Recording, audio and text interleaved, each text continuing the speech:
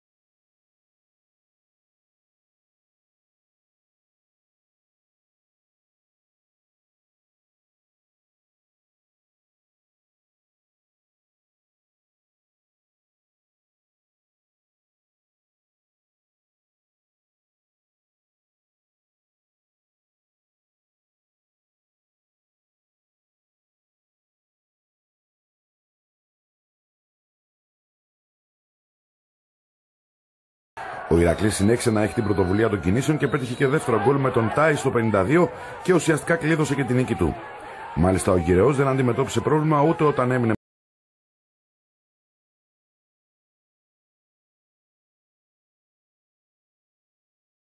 δηλαδή όλη αυτή την ώρα ο Πορτουλίδης. Ο Ματσούκας έχει πάρει τη θέση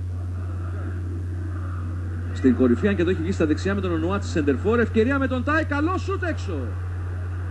Στο 69, δεύτερη που... Εδώ δεν βρήκε στόχο.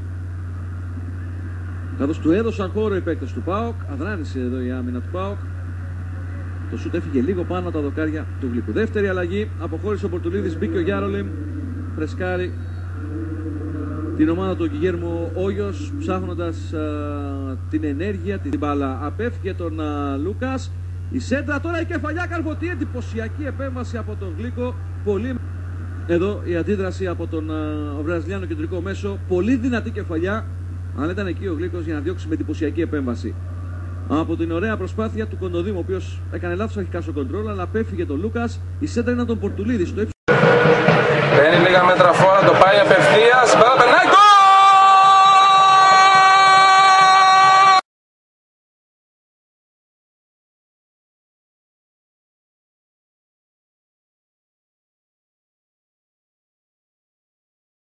έδαφος δεν παίρνει φάουλ.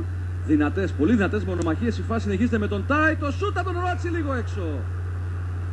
Να και η δεύτερη πολύ μεγάλη ευκαιρία για τον Ηρακλή στο 16. Μπάλα πέρασε, ήταν ο δημιουργός της φάσης. Εδώ ο αρχηγός του Ηρακλή.